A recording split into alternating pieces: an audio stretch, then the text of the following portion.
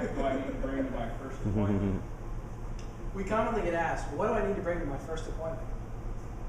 Basically, any and everything that's relevant to you as a prospective patient. Uh, we'd like you to bring your insurance card so we can make a copy of that, your driver's license for photo identification. Uh, also, any and all diagnostic tests that you may have. Have you had any recent x-rays? Have you had any recent MRIs? We don't actually need the films, but the results of those tests are very, very important in helping us uh, uh, produce a comprehensive picture of how you present to us. Um, we also ask that if you have a body part like a knee or a hip, and that you bring a change of clothes, loose, comfortable clothing, so we can properly evaluate and even begin treatment on that body part. So basically, anything that you can bring that helps us give a more accurate picture of how you present to us as a patient will be very, very helpful.